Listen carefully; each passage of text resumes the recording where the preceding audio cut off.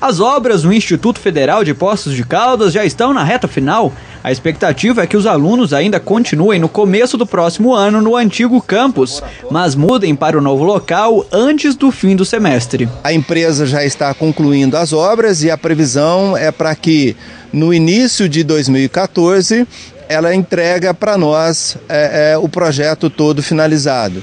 E nesse sentido, é, o início do ano letivo para 2014 do campus Poços de Caldas ainda é para começar nas instalações atuais. Novos cursos já estarão no campus a partir do ano que vem. O superior em técnico em gestão ambiental e também em eletrotécnica. E para 2015 serão ainda mais novidades. A estrutura para receber esses dois cursos novos e os já existentes já está pronta.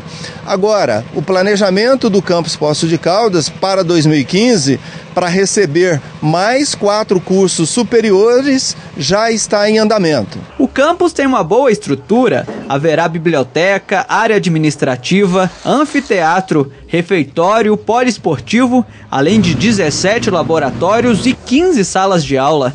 Um total de 6 mil metros quadrados de construção que irá receber até 1.200 alunos. Os que já estão matriculados no IF Sul, de acordo com o diretor, estão ansiosos com a mudança. Os alunos que já estão no Instituto, a expectativa também é muito grande, porque é, representa melhores condições, não só de estudo, como também de, de lazer.